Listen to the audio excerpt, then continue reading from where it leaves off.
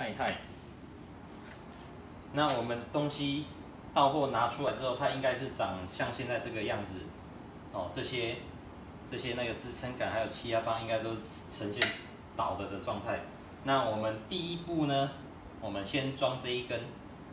哦，那它要装的位置其实也很好判断，就是这一根中心这一根杆子这里，哦，这这里有一个要跟它合的地方，这一根，那我们就是把这个短的插销呢，哦，穿过去。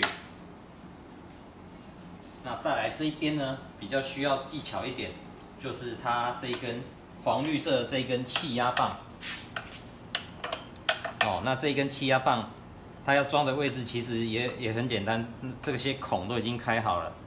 哦，那我们就是把洞对准，那用长的这一根插销穿过去。那我需要调整一下角度。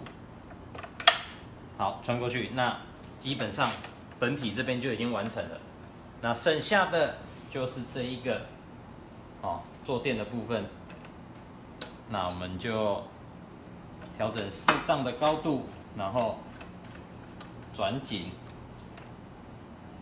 这样安装就完成啦。